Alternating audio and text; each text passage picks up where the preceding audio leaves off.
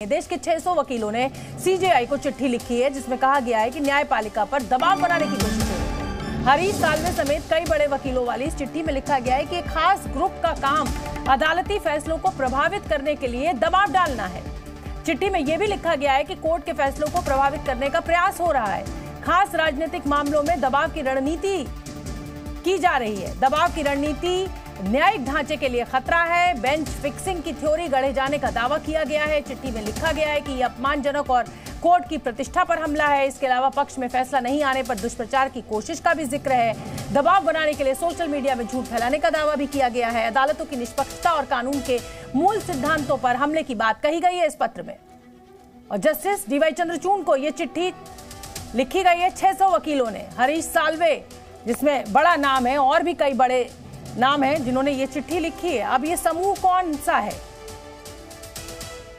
तो ये अपमानजनक और कोर्ट की प्रतिष्ठा पर हमला। ये भी मैंने आपको पूरा पढ़ के सुनाया है कि उस चिट्ठी में क्या कुछ लिखा गया है।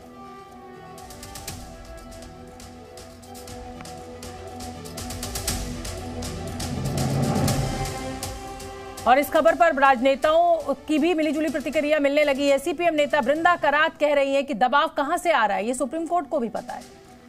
सुप्रीम कोर्ट मुझे लगता है वो खुद ही जानते कहाँ से प्रेशर आ रहा है, क्योंकि सुप्रीम कोर्ट के कुछ साल पहले जस्टिसेस ने खुद ही प्रेस कॉन्फ्रेंस करके बता दिया था कि प्रेशर कहाँ से आ रहा है।